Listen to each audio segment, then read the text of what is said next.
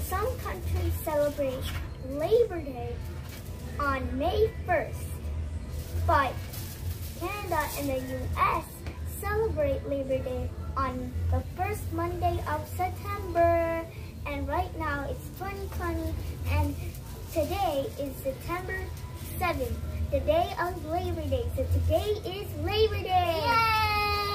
And Labor Day is a national and federal holiday. So, Tiaba, what's the reason for Labor Day and how do you celebrate Labor Day? Well, the how do you celebrate Labor Day? We're celebrating with you guys. So the reason, so you can celebrate Labor Day with a barbecue, a pool party, a parade, a picnic, and more other things. Do you like our decoration, by the way? Yeah. And do you like our food? Let's do a cheers before I say that. Cheers! It's Labor Day! Yeah, we cheers. And now, in the 1800s, adults were working 12 hours a day and 7 days a week. Two brothers invented Labor Day. Day. Peter and Matthew. I mean, McGuire and Matthew.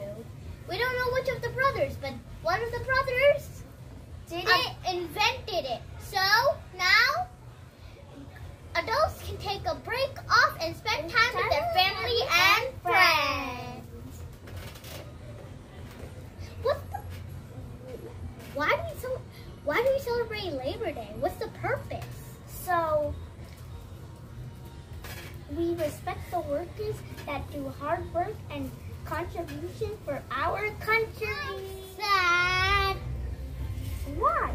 Because school is school is starting and summer's Yeah, but Labor Day is here, so we can celebrate and have a last